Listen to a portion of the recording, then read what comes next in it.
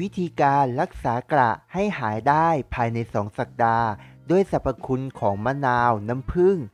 โดดเด่นมากจากการเกลี้ยงได้โอลิแชร์ออนผีเซนสวัสดีครับสำหรับใครที่เข้ามาติดตามและรับชม คุณอย่าลืมกดแชร์ กดไลค์ กด Subscribe แล้วก็กระดิ่งแจ้งเตือนด้วยนะครับ คุณจะไม่พลาดวิดีโอคลิปใหม่ๆของเรา เอาละไปรับชมกันเลยครับ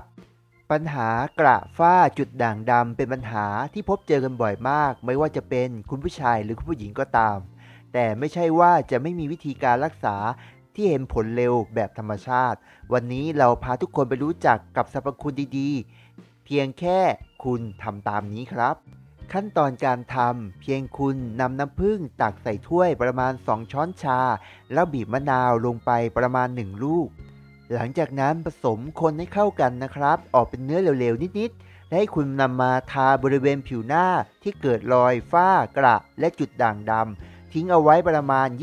20-30 นาทีทำแบบนี้ทุกวันนะครับ แล้วค่อยล้างออกตามปกติ ในแต่ละวันไปเรื่อยๆ ซึ่งวิธีนี้จะได้ผลดีมากครับ แต่ต้องมีข้อควรระวัง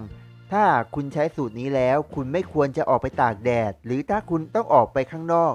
กรุณาพบร่มหรือทาครีมกันแดดบ้างก็จะสามารถช่วยป้องกัน ปัญหาจุดด่างดำที่จะเกิดซ้ำได้ครับ ข้อแนะนำถ้าหากท่านใดกลัวแพ้ กรุณาลองเทสที่หลังข้อมือตัวเองดูก่อนนะครับว่าะผิวหน้ากับผิวที่หลังข้อมือคุณ มีเนื้อที่ใกล้เคียงกันครับข้อมูลเหล่านี้ผมหวังว่าจะเป็นประโยชน์กับทุกคนนะครับ และอย่าลืมคอมเมนต์ด้านล่างคลิปด้วยนะครับ ขอบคุณมากครับที่เข้ามาติดตามและรับชม